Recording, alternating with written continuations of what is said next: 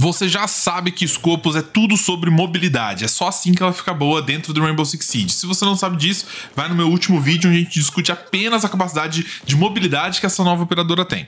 Agora, tem um ponto tático que eu mencionei no vídeo anterior, mas eu não expliquei, que eu tô explicando aqui.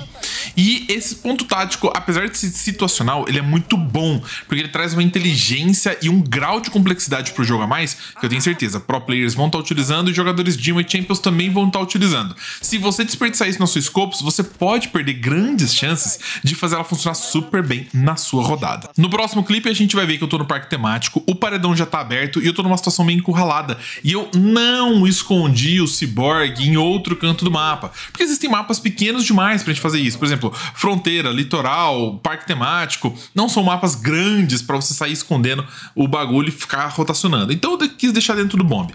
E o que vai acontecer é que eu fico com pouca vida, muita pouca vida. E eu tô com medo agora de dar cara pra paredão. O que, que eu faço? Eu também sei que vão dominar o café e vão pressionar esse corredor. Eu deixo escopos de escudo para mim mesmo.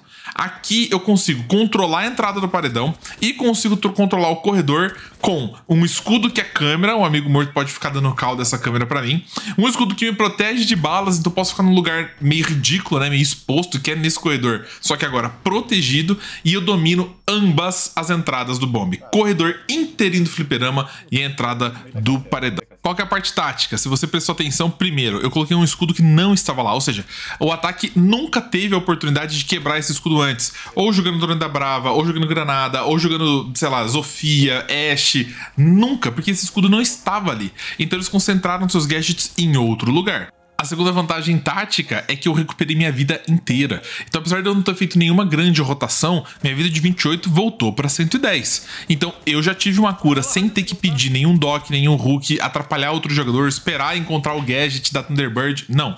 A minha cura foi ali instantânea para mim, sem eu ter que fazer uma rotação e me movimentar.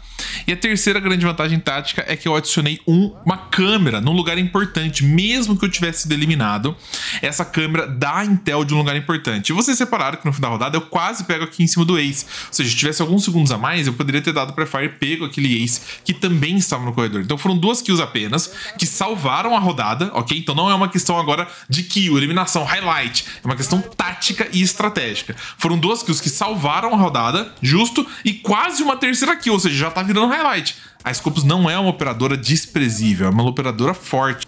Nerd, mas qualquer operador de escudo faria isso. É só reposicionar meu escudo de um lugar ou outro, ou já parar pra pensar que eu quero deixar meu escudo ali. É verdade.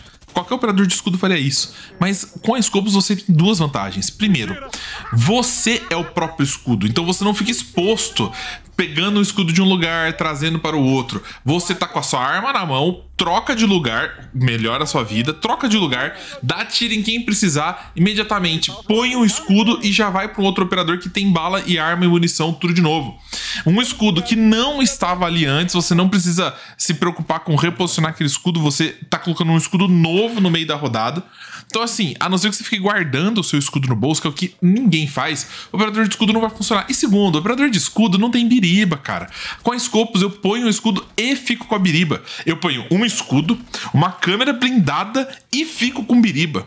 Você tá entendendo a, a utilidade tática desse operador? Mesmo que eu não queira fazer rotação nenhuma e não queira trocar e queira deixar esse escudo no lugar que ele está desde o início da rodada, eu ganhei escudo com câmera e ainda tenho duas biribas. Então, para a equipe olhar essa câmera, para a equipe utilizar esse escudo, inclusive eu, é muita vantagem tática. Então, assim, algumas pessoas estão criticando que a Scopus poderia ter a COG, poderia ter uma arma de fire rate maior, poderia ter C4, e tudo isso deixaria ela mais forte, sim. Poderia ser 3 de velocidade. No entanto, se você olha pelo ponto de vista tático, se a Ubisoft deixa isso aqui mais forte, a Scopus volta a ser uma operadora roubadíssima. E é isso que a gente não quer, né? Por exemplo, quando a Solis lançou, o Fenrir lançou, eles eram extremamente roubados.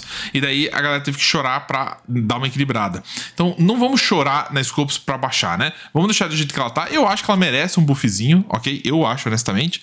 Mas do jeito que tá, tá muito interessante esse operador. Esse vídeo foi curto para abordar apenas uma questão tática que não é óbvia para escopos. E se vocês têm outras estratégias e plays, deixa nos comentários. E vem para as lives também, na Twitch, no YouTube, tô fazendo live todo dia a partir das 2 horas da tarde. E cara, as ideias que vocês trazem para mim de live, de, de jogada, tinha que virar vídeo, de verdade. Então, se vocês têm boas ideias, deixa aqui nos comentários ou vai nas lives, traz para mim, a gente faz ali na hora.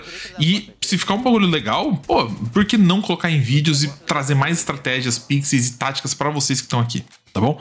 E a galera das lives tem pedido também uma série de vídeos que seria: vocês mandam vídeos de jogadas que vocês fizeram, que deram certo ou errado, para eu avaliar e falar para vocês o que deu certo e errado. Vocês gostariam de ver isso? Eu acho um pouco arrogante da minha parte falar como você tem que jogar, mas se a comunidade quiser, eu faço sem problema nenhum, tá bom?